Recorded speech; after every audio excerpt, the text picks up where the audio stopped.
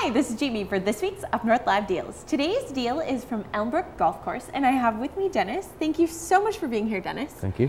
And Dennis, you've brought an excellent deal. It's a $115 value for just 55. dollars mm -hmm. Now, this is a, an excellent value. What does this include?